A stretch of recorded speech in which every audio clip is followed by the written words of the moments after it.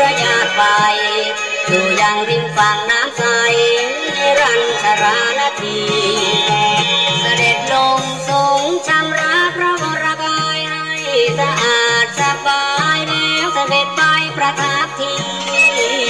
ริมฝั่งคงคาในรันชราอีกทีปั้นข้าวมาถูกปายาในถาดที่มีที่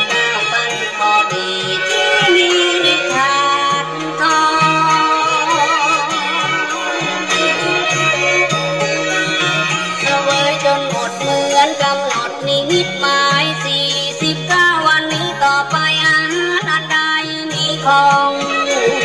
เสร็จแล้วถือถาดเสด็จถึงระยะเดียวมองสายชนบนฝั่งทั้งสองไหลนองมองมีผ่านไปแล้วพระองค์ทรงตั้งจิตนาทิทานเสียงบารมีในการถึงโพธิญาณอันยิ่งใหญ่ถ้าอาตมาจะได้สำเร็จดังตั้งหาใจให้ถาดทองนี้ลอยเนื้อนที่ทวนน้ำ